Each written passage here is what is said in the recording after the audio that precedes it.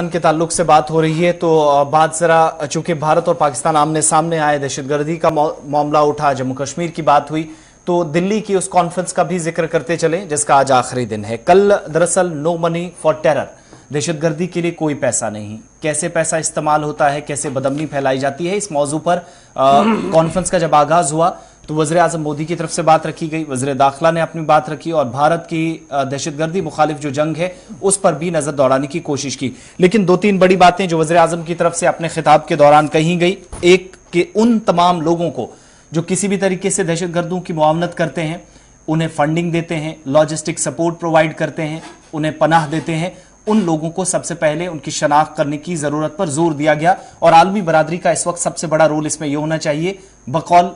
नरेंद्र मोदी, कि दुनिया भर के तमाम ममालिक जो हैं, वो इसमें कम से कम अपना रोल प्ले इस तरीके से करें कि आतंकवाद का, या दहशतगर्दी का नेटवर्क तोड़ने के लिए, या जो खात्मा करना है, उसके लिए बिला किसी ताखिर को फौरी तौर पर इकदाम उठाने की ज़रूरत है। पहली बात उनकी तरफ़ से यह कही गई। दूसरा, उन तमाम लोगों की जो चूँकि टेक्नोलॉजी का ज़िक्र हो रहा था इस कॉन्फ्रेंस में तो उन्होंने कहा कि टेक्नोलॉजी के माध्यम से भी आज दो तरह के दहशतगर्द दुनिया भर के अंदर हैं। एक वो जो हथियार से लड़ते हैं दूसरे वो जो आपको एक तरह से मोबाइल टेक्नोलॉजी का या टेक्नोलॉजी का सहारा लेकर बदमनी फैलाने और इंसानी जानों को खत्म करने के लिए अपना मंसूबा तैयार करते हैं बकौल वजर आज़म। और इस बीच उन्होंने कहा कि न सिर्फ़ दुनिया की ये रिस्पॉन्सिबिलिटी है, ये ज़िम्मेदारी है कि वो इस नेटवर्क को इस तरीके से तोड़े, बल्कि उन तमाम लोगों को जो इस वक्त इन दहशतगर्दों की माली तौर भी मुआवनत करते हैं